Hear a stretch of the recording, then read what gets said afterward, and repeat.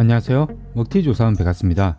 먹튀조사 진행 중에 슬롯 당첨금 먹튀하고 있는 벨리곰 제보가 들어왔습니다. 사건이 발생한 날은 2월 11일이고 전날 저녁에 충전을 하고 슬롯을 했는데 금액이 좀 올라가서 환전 신청하려고 하니 계좌 출금 한도 max라고 하면서 다음날 오후 1시에 다시 출금 신청을 하라고 합니다. 그래서 다음날 1시에 출금 신청했지만 3시간 이상 출금 지연이 되고 텔레 문의를 하니 가상계좌 지연 중이라 해결되면 보내준다고 한 뒤에 바로 계정 탈퇴 처리시킵니다.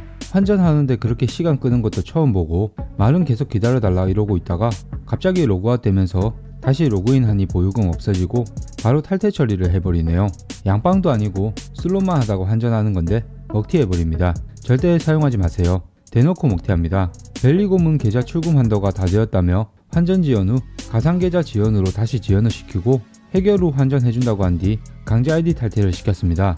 상식적으로 계좌 출금 한도가 다 되었다는 것 자체가 운영 능력이 미흡하다는 판단이 되며 가상계좌 환전 지연은 먹튀 사이트의 특징입니다.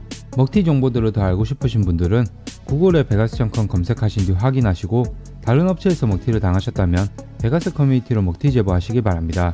제일 처음 제보를 하시는 분에게 기프티콘 또는 인증업체 포인트를 지급해드리고 허위 제보한다면 영구 탈퇴 대상이 되니 진실만 말씀해 주시기 바랍니다. 저희 베가스는 먹튀 사이트가 사라지는 그날까지 먹튀 조사를 이어나가겠습니다. 지금까지 베가스였습니다. 감사합니다.